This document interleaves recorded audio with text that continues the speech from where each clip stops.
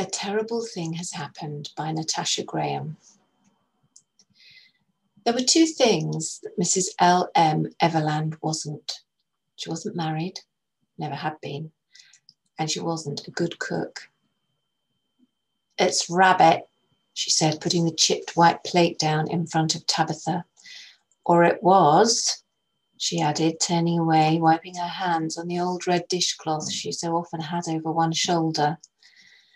I expect you're used to much finer things in London, she said, with that glimmer of amusement in her eye as she set the tea kettle on the stove to heat up for the fourth time that evening. And Tabitha sliced a not quite boiled potato from a tin in half with her fork, foregoing the blackened cubes of rabbit for now. Not much, Tabitha answered after swallowing. Mrs. Everland sat down on the chair on the opposite side of the table, with the kettle slowly boiling behind her. She moved the jam jar of alstroemeria from the centre of the table to one side so that they could see each other better, revealing the scorch mark in the middle of the table and the old wax pot marks and the old scrubbed pine table where the candle had been in the winter. Someone give you those? Tabitha asked watching how the few wilting yellowed leaves among the green quivered slightly in the gentle breeze that came through the half open window.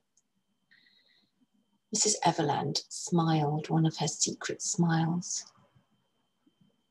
gave the tiniest purse of her lips, and reached out to touch one of the yellow leaves that fell neatly into her palm as if she had willed it. No, she said. I gave them to myself. She smiled again and held the tip of the leaf between her thumb and forefinger, twirling it so that the light caught the yellow and blotched brown, turning it gold and bronze in the sunlight that stretched halfway across the table between them. Like Mrs. Dalloway. She paused again. Only I picked them myself instead of buying them. Who's Mrs. Dalloway? Tabitha asked, and Mrs. Everland drew in a very long, very slow breath and then released it just as slowly. Peaceful, calm always, as if she half existed in a dream, but only inside the house. Once outside the house, she came alive only in the minds of the outsiders that mistook her for cruel and unkind. Different She's a character, she said, in a book. And then leaning forward slightly across the table on her forearms, with both hands clasped around the leaf, she said, A very wonderful book, written by a very wonderful woman. With her eyes glittering, dark and wide, and full of secrets yet never to be told. She stood up slowly Early spring in the dark auburn brown of unruly hair, pinned with often falling hairpins on the very top of her head, so that it fell about her face in curls she never seemed to brush. Early spring light that cast a fleeting warmth across her cheek, her lips, her chin, as she passed to the shelf in the kitchen, a board she'd put up herself with mismatching black iron brackets. The emerald rings she always wore, three of them, on every other finger of the right hand, glinting as she carefully eased a book from between another and a big clear glass jar of golden shining honeycomb. She set the book down on the table in front of Tabitha next to her plate, a well thumbed paperback with Mrs. Dalloway in painted black writing inside a yellow border. She sat down again, reached across the table and slipped the leaf between the cover and the first page. Bookmark, she said, then rested back in her chair, head to one side, regarding Tabitha with the far away and yet all seeing look that only women are ever capable of having. And women like Mrs. Everland, even more so. Do you miss them? she asked. Your parents? as if the question needed clarification. And Tabitha pushed the half moon of the mealy white potato over with her fork while the tea kettle began its whistle, louder and louder and louder, until the silence came. And Mrs. Everland had taken it from the stove and was pouring more tea into the big brown teapot. Here, she set the little blue and turquoise glazed sugar bowl down in front of Tabitha. Use the last of it, as much as you want. There's always the honey. That was what Mrs. L. M. Everland was. Kind. The next morning, early, while the sparrows were still singing in the hedgerows and the spring sunshine was turning the shimmer of a light frost to the warmth of new green grass on the fields, Tabitha walked to school with three other children evacuated to Rodmell, Lewes, a village somewhere amidst the South Downs. Tabitha, Nancy, Letty, and Constance, all four of them 11 years old, all four from the anonymity of London's shroud of grey and white, and the murmur of pigeons in the eaves and alcoves of looming grey brick buildings turned to rubble, and the dull brown rats on the wet grey cobbles. I've heard things about Mrs. Everland, Nancy said, squinting into the sky, shielding her eyes while she watched the planes fly in the distance. What sort of things? Tabitha asked, watching the dew-shine toes of her black boots as she walked. I've heard she never leaves her house, Letty said before Nancy had a chance to answer, turning, grinning, brown leather satchel bumping against her thigh. Well, I've heard that she killed her husband, poisoned him. Nancy, who was tall for her age with two long plaits of chestnut hair, said this with a pointed look in Tabitha's direction. Apparently, she went on, she cooked this huge, sumptuous feast for him, everything he liked, dessert too, and he ate it, but he didn't know she put poison in it first. Don't listen to her, Constance whispered, leaning her head of tight blonde curls close to Tabitha's own and interlinking her arm with hers. Nancy glanced back again and grinned a toothy grin. Then what happened? Letty asked, kicking a small white round stone that looked like one of Mrs. Everland's boiled potatoes into the grass from the track. Then Nancy drew in a breath, thoroughly enjoying her role as revealer of truths. His blood turned to ice, just froze up in his body, and he died in his chair, just sitting there before he'd even eaten the stewed pears. They say he was buried still holding his spoon because his body was so seized up they couldn't get it out of his hand. Letty screwed up her face, opened her mouth to say something, and then closed it again. That's not true, Tabitha said, nonchalant looking up now, edging on defiant should the weather have called for it. And how would you know? Nancy asked, all but rolling her eyes. She told me, she said. When we first arrived, she said, They'll tell you about me, the people in the village. They'll tell you I was po- I poisoned my husband, but I can tell you that's not true, she quoted. Of course she'd tell you it wasn't true, Nancy laughed. She's not going to admit it, is she? She's never been married, Tabitha added, and Nancy's smile faltered slightly. And now was the time for the nail in the proverbial coffin. She can't cook. Nancy ignored her, chose instead to look up again at the second arrow of warplanes heading north. Engines burning up in the sky and the silent, engines burning up in the sky in the silence and leaving a ring in the air that seemed always to be there, but never lasted longer than it took to see them disappear. Well, I heard she never got married because she was having an affair, Letty began once they'd started walking again. This was her moment now, and she paused for effect. With a woman. Oh, Nancy asked before she could stop herself. Now it was Letty's turn to look smug. A writer. She writes books, novels. She's quite famous, Letty said with an air of authority.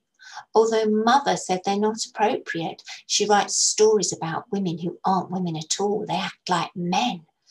One of them, Orlando, kept turning from a man to a woman and did all sorts. Nancy's face twisted from alarm through intrigue to suspicion. How do you know? she asked, and Tabitha felt the heaviness of Constance's arm through her own and the weight of Mrs. Dalloway in her satchel as she remembered the flush of Mrs. Everland's cheeks as she'd set the book down so carefully beside her. A very wonderful woman. Around the corner, they bumped into Aric, an elderly man with a dog they'd passed every morning since last Tuesday on their first day to school. He tipped his cap to them, stepped aside so that his earth brown boots crunched the final frost beneath the hedges, and tugged the fraying string rope gently to bring the little black and white terrier dog to his heels. Morning, he said as he tipped his hat, the thinning blue white skin beneath his eyes damp from the cold, and his cheeks and nose of colourless grey pink as they smiled their replies. There's summit a foot up there. He raised his free arm that held a long hand whittled cane and pointed stiffly with the end of it in the direction they were heading. Summit's going on. He spoke slowly and with an accent from further north. What? Nancy asked, all of them looking in the direction he pointed to, the place furthest from the rising sun where the fields still glittered and shimmered with frost. I don't know, he lowered his stick. Men about, pleased by looks at things, poking about in them woods with sticks and dogs. Mitzi was scared witless. He tugged on the string so that the little dog with shivering legs looked up at him with blinking dark eyes and twitching black nose. Were you? he asked her, and she sat down in response. I'd take the wrong, long way round if I were you down by the river He pointed again with his stick in a more westerly direction, where the fields hit the pathway that nobody but the locals expected, down to where the River Ouse abruptly sliced the landscape, small, snake like, and startlingly silver. Thank you. Nancy gave their thanks as her own quiet, unusually so for her, still looking in the direction of the woods that seemed all but a mist and smudge of grey on the horizon. Thank you, she said again, suddenly realizing her manners, turning, smiling, and realizing he'd already be, already begun his shuffling stoop back on his way. Which way? Letty asked, narrowing her eyes like Nancy had, looking to the trees, seeing only what was perhaps her imagination moving between the trees. The river, Tabitha said. I know the way. Mrs. Everland showed me the other day when we were foraging. Nancy looked at her in the sceptical way she had inherited from her schoolmistress mother. Foraging for what? she asked, not yet quite convinced of Mrs. Everland's innocence. Mushrooms, Tabitha said, already setting off, Constance's hand still neatly tucked into the crook of her elbow. Then wild garlic, she added, when Nancy and Letty began begrudgingly to follow. I thought she couldn't cook, Nancy asked as they turned down the lane in between the fields, the grass, and the odd uncut blade of uncut wheat that brushed the backs of their knees. She can't. Tabitha and Constance stepped over a rabbit hole in unison. But she does try. She glanced briefly back at Nancy's screwed up face, her feet wet inside her shoes from the grass, Letty trailing along behind her. And the garlic was for a remedy she made. It has antibacterial properties. She glanced again at Nancy, enjoying fleetingly the knowledge that when it came to Mrs. Everland, she was the expert, as much as one could be after knowing her only for a week. Sounds like witchcraft to me. Betty said from the back, breathless and pale, unused to walking for longer than the time it would take to step from a London doorway to a carriage. But neither girl replied. They merely stopped in a line, stopped without thinking. The grass in its dew-lit glory melted away to sand-coloured grit, shot through with the glint of splinters of quartz and feldspar. and the water flat, calm, both grey and silver, gold and white, sparkling beneath clouds that reflected the day in the cool of the water that ran, seemingly unmoving beneath the old stone bridge they would cross on their way to school. What's that? Letty asked after a moment of silence where the air that smelled of fresh cut grass and the early morning smell of the earth warming held them, suspended within that moment. What?